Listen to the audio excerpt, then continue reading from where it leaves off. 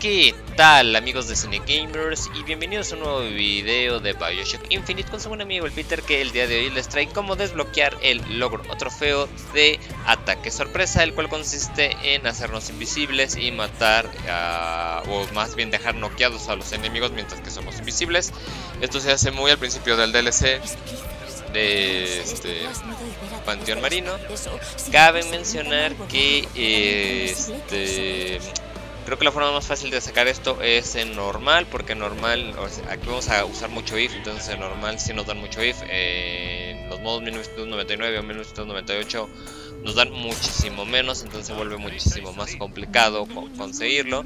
Recuerden que para que nos cuenten tienen que eh, ser totalmente invisibles, no vale solamente estar atrás y después quitarse la invisibilidad y golpearlo para ahorrar un poco de if. Tienen sí o sí que ser invisibles, dejar apretado Y o, o triángulo dependiendo de la consola en la que lo estén jugando para hacer el remate y con eso vencerlo. Una vez hecho eso, se puede hacer una de dos cosas. Una es seguir avanzando en la historia del DLC, el cual como ya mencioné es extremadamente largo y con eso lo pueden llegar a hacer con el tiempo. O este, la otra es simplemente ponen a cargar la partida. Va a pasar después de que agarramos el, este, el plásmido, otra vez aparecemos en el lugar que ya vieron. Y lo volvemos a hacer y esto lo hacemos una y otra vez, unas 7 o 8 veces hasta que nos bote el logro trofeo.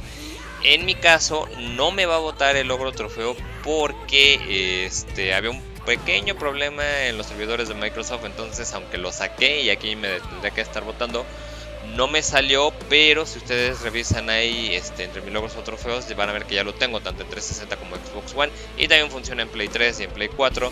Pero pues bueno, así se saca, es muy fácil, dudas o comentarios déjenmelo aquí abajo. Si estoy te ayudo y saben que ese pequeño like siempre se agradece y hasta la próxima.